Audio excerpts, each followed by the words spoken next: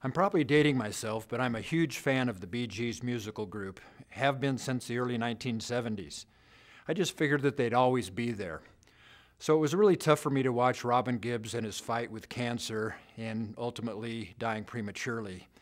The tragedy is that colorectal cancer is so detectable and treatable in one simple procedure, the colonoscopy. It's one of those dreaded seed diseases that's uh, completely curable if you get it on time. I'm well past the age where they recommend your first initial colonoscopy, and yes, what you've heard, doctors are the worst patients. But I have a great wife, and she made uh, an appointment for me behind my back, no pun intended. And uh, yes, the preparation is the worst part.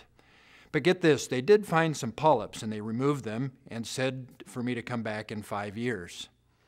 Now, the American Institute for Cancer Research brought a panel of experts together and they published the most detailed, comprehensive, and authoritative study on colorectal cancer that they've had to date.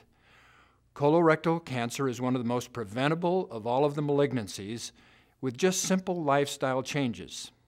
One half of the cases annually could be prevented by just consuming more plant based foods, by exercising more, and by remaining uh, more lean. In the US alone, they could save 64,000 lives per year. Let me share a list of their findings and recommendations uh, from the Institute's report.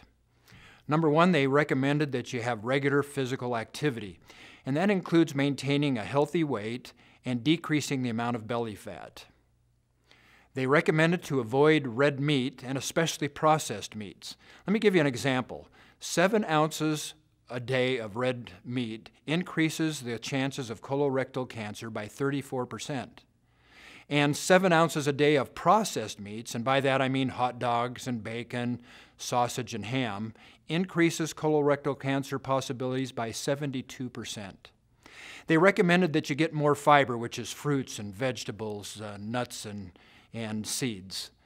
They, have, they recommended to avoid alcohol and the bad whites, which of course are white flour, white sugar, white bread, white uh, pasta. They recommended to increase the amount of bioavailable calcium in your diet. They're not sure exactly how dairy figures into that, but they have found that almond and coconut milk actually have 50% more calcium than dairy products anyway. And then their final thing was to rely more on whole foods than on supplements. So, how are you doing with their recommendations? Any of your favorite sins that are sabotaging your health? The mes- message I take away from this is it's Sun Warrior now more than ever.